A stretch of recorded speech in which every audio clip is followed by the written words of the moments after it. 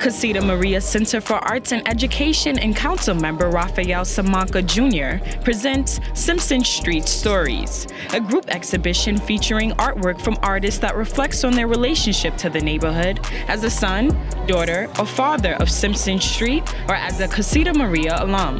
I grew up on Simpson Street, uh, lived here for the majority of my life. When I was growing up, I didn't know that the South Bronx had burned. These were stories that weren't told to me. So when I found out, I saw in uh, my present day at that time that the Bronx is beautiful and that community reconstructed after the total decimation of our neighborhood. Chen Carrasco has six children that attended Casita Maria Center for Arts.